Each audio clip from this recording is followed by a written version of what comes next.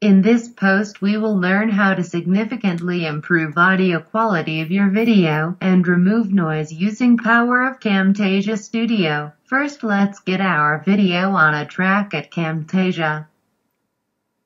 With the track selected and unlocked, click on the audio button at the bottom bar. You can now see audio editing options.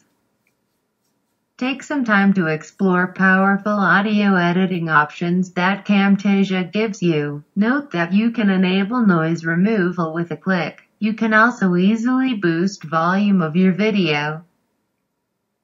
Don't forget power of silence button to remove junk noise from video. You can also play with fade in and fade out settings.